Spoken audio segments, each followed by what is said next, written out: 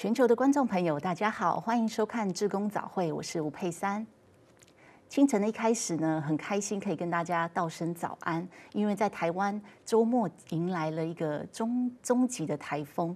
那其实美国 CNN 呢也特别提到了，其实这个是一个超级台风，因为只是在短短的两天，这个台风就从热带风暴呢迅速增为一个这个强台。那其实也是有史以来增强。就是最快的台风之一。那其实这个台风呢，是台湾五年来最强的台风。那其实，在台湾全台，大家都是很戒慎虔诚的做好防台准备。也很感恩的是，在昨天晚上八点半，台这个台风呢就已经解除了陆上警报。那今天早上在凌晨两点半也解除了海上警报。早上看到新闻很感恩，虽然这周末呢，全台一些地方大部分。都有有风有雨，但是很感恩都是平安的。虽然有一些树倒啊，或者是一些小小的积水的这个状况，不过很感恩大家都是平安，也没有伤亡。那从画面上更可以看到，慈济志工呢送这份关怀还有物资到了一个偏乡地区去关心独居长者跟多事家庭，也提醒他们要做好防台准备。那今天志工早会呢，上也特别提到了这样子的这个灿数的台风，也很感恩平安。那每天我们都需要戒慎虔诚，而且不断的虔诚祈祷跟素食，来来徜徉我们的这个虔诚之心。那接着我们就以虔诚恭敬的心来聆听这段上人开始，在全球笼罩全球。就如我们戴的口罩一样，人人口上啊戴了一罩，这是过去前所未有、普遍在全球。这是疫情，在台湾呐，看见呐。台湾人的守规矩，人人自爱，爱人，所以呢，把自己呢防范工作做得好，这都是爱护自己，也是爱护别人，期待这样的机。意啦，不要断亏，不要彼此感染。大家了解到了，这天下有灾难，人人要好好的守护的健康，要人人呢付出一分的心力，表达出了虔诚无私的爱。有了虔诚无私的爱了，这个地方的人间就会平安，远离灾难。昨天呐，昨天之前，那是前天呐，开始报道有一个台风是。百年来最强的、最大的力量、最扎实、最胖、最长，都是说，是百年来了，是最大的啊！其实很担心啊，所以。昨天在台湾呐，虽然呢有阵雨阵雨，一阵阵雨，时间这样过去，这个台风呢，它就是来到了台湾靠近，它有偏呐，所以。平安呐！我们要时时说感恩呐，感恩他有偏向，而且加速离开，所以他结果没有登陆，只是一个风签呐。但是呢，总是很平安，在海上啊，的确它的风力很强。但是呢，我们台湾陆地啦是平安呐，所以真的我们要感恩呐。虽然说哪里紧张。那也有进水，也有因，大家紧张一点，但是是平安呐。所以呢，我们一定一定要心存了虔诚的感恩，这就是力量，这是祥和的力量。真的很感恩台湾平安，而且有这样子祥和之气，让这样子的中台呢，就像擦边球一样的经过台湾，并没有再造成太大的灾害。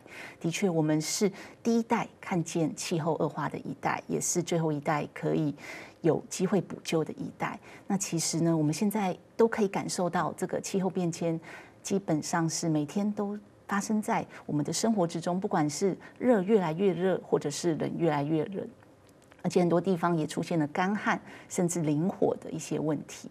那其实呢，我们我们到底要留什么给下一代呢？如果我们这一代不积极的以绿色行动还有环保行动来拯救这个地球，其实下一代也是没有办法去挽救的。那最近呢，在八月九号。IPCC 呢，联合国的气候变迁小组呢，也发布了一份报告，其实是非常的惊人的。那他有特别提到了这样子的这个气候升温呢，已经将近到达了一点一度。我想大家都有听过正负二度 C 或者是一点五度这样子的一个临界点，想不到我们已经到了一点一度。而且呢，这过去五年呢，也是历年来气候温度最高的五年。那更别说了，海平面上升的速度呢，更是以往在一九零一年这样子期间的高达了三倍。所以就可以看到非常多的灾难呢，在全球频传。那这一次的灿数，为什么在短短两天就从一个热带气旋？增为一个强台，也是因为这个海水的温度上升的关系，造成这个很快的，就是这个强台的一个发生。那其实呢，未来的气候变迁对我们带来的冲击，气候气候专家也说了，二零四零年预估全球温度就会上升一点五度，到时候的灾难恐怕比现在来的多。那很感恩的是呢，其实大家都有这样子的环保意识，而大林慈济医院呢，也在近期举办了一个二十一天的减碳活动，希望大家能例行环保，而且以节能减碳的生活方式落实在我们的生活，甚至影响家庭之中。那接着我们就以这则报道一起来了解。这事有很难吗？好像对我来讲好像很简单。因为就是一念心，为地球改变，我愿意。大林慈济绿成林活动，三百多位同仁透过二十一天绿色行动，总共减碳一万零九百一十三公斤，减少约九百棵树吸碳量。推算一年可以减碳十八万九千六百七十八公斤，大约一万五千棵树的吸碳量。我们希望说，透过这样的成果哈，我们也发觉有一些同仁平时就有在做。那透过这样去激发，我们希望明年有更多人来来参与哈。小小动作，例如每天珍惜用水、随手关灯、不搭电梯、如素等，都可以让环境变得更好。从日常生活里面，不然是你的。饮食、你的行动、关电灯、走路、少用塑胶袋等等的二十一天的行为改变哦，希望能够养成这样的好习惯，让我们除了在照顾病人健康之余呢，能够让环境也健康，也让大家自己都能够更健康。从举手去关灯、关电脑，你可以多走路，就尽量不要用其他的交通工具。实践在日常生活中，这场活动也在大林慈济医院粉丝页直播，让更多人一起参与。节能减碳就是最好的节能方法。那的确是我们现在的资源其实已经不够全人类使用，所以节能减碳还有一些环保行动呢，真的是当务之急。很开心看到大林慈济医院这样子的带动，真的为地球减碳很多。那每天呢，我们都会呃做一些排碳的行为。那其实常常提到的就是搭乘电梯。今天早上职工早会上也特别提到了。搭乘电梯其实会增加很多碳碳排放量。那经过呃研究呢，每搭乘电梯一层楼就会排放大约零点二一公斤的二氧化碳。那这个数据大约是多少呢？以一个家用的冰箱来说，一天的碳排放量大约是一点三公斤。所以呢，如果您搭六楼的电梯，就大约等于冰箱碳碳排的这个这个一天的这个公斤数。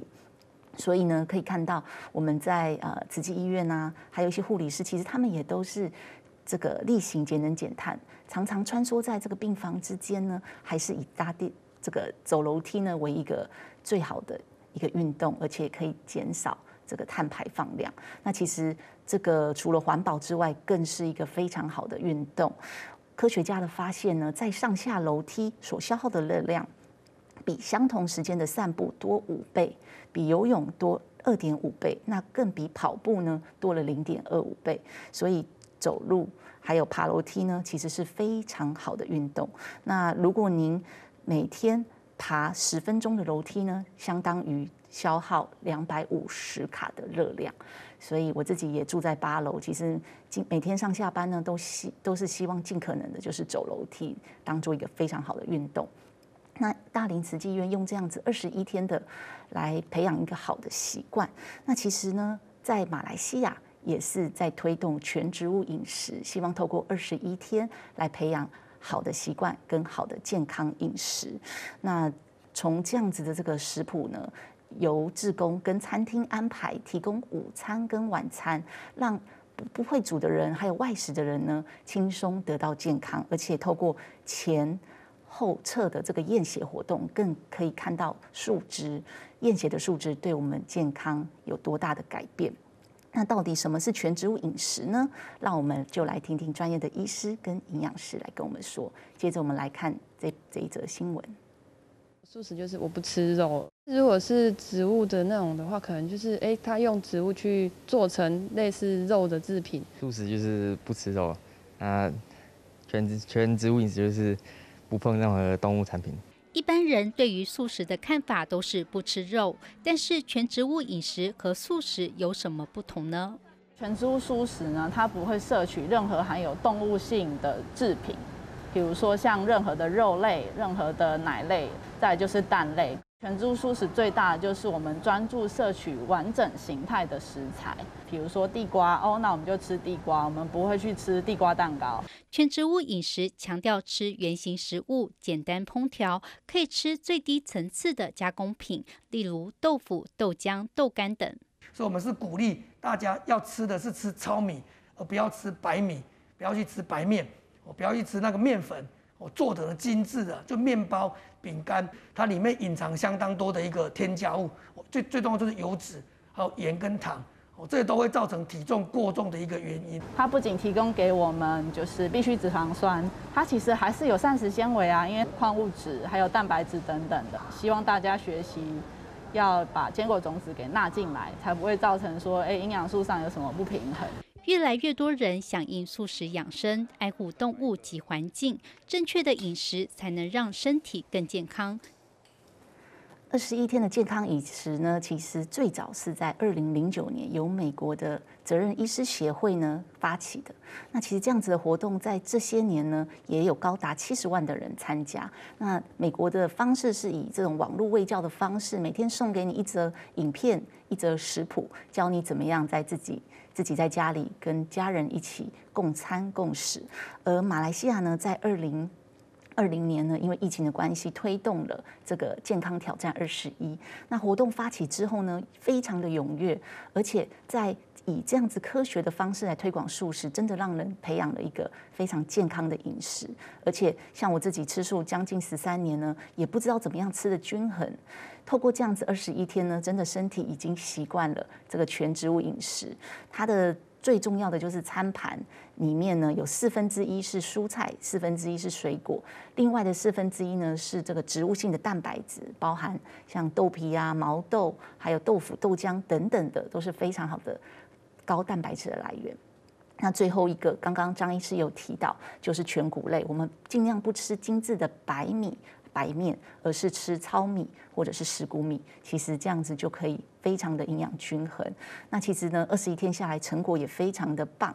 像马来西亚呢，参加二十一天之后，有高达七十一 percent 的荤食者愿意开始呃由荤转素，持续这样子的健康饮食。那在花莲呢，我们在八月也办了一场，在七十八个人呃这样子的数据中呢，其实可以看到是很多人都。这个有减重，而且身体的状况也有改善，更有更有更多荤食者呢，大约百分之六十的荤食者愿意持续这样子的全植物饮食。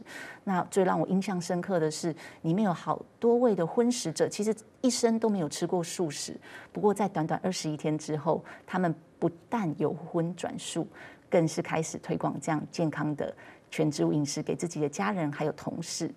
那其实都可以感受到，舒食真的是一个灵方妙药。就像上人说的，舒食也是缓解气候、缓解气候变迁最有效的方法。那今天志工早会上人也有提到素食的重要性。接着，我们就以这呃以恭敬虔诚的心来聆听上人开始。我们的这医疗体系同仁们呐，那一种了解。要如何减碳？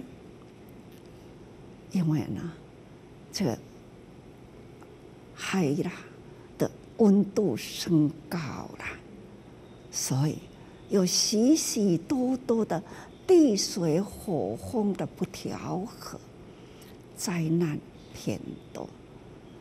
师傅一直在说，人，人，人人一来要很虔诚。再来要觉悟，要忏悔啊！我们呢，过去浪费的太多了，造的碳足迹很高了，会造成了呢这样的温度，所以气候不断的变迁，既是从人造成。也要由人来忏悔，采取行动。人总是呢，这一张口吃尽了天下动物命。我们要反省，我们要忏悔。所以呢，我们要来推述，我们还要呢，生活中呢，还要。自我检点。